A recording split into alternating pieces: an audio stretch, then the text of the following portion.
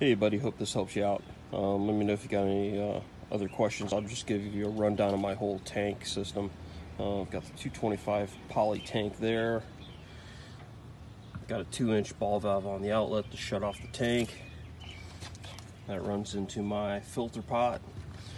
Now this I added in, I haven't seen too many other people do this. I had a couple of extra valves here. This one shuts off and basically separates the filter side and the pump side so that this uh, hose faucet that I plumbed in, I can hook up my garden faucet from the house and put fresh water in here and either flush out the filter tank or if I close this, I can turn the pump on and I can flush the pump and all of my lines out.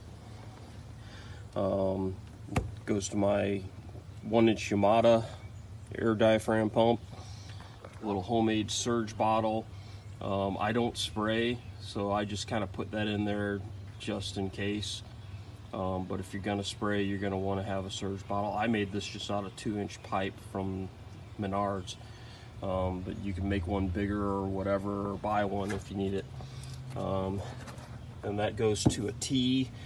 This is the hose that I dispense from.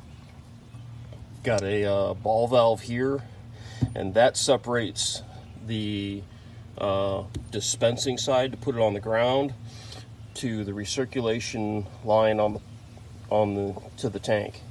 Um, with it open, that recirculates right back into the tank. If I close it, then I pump out of the hose here. Um, let me know if you got any other questions, dude. Happy to help. Take care.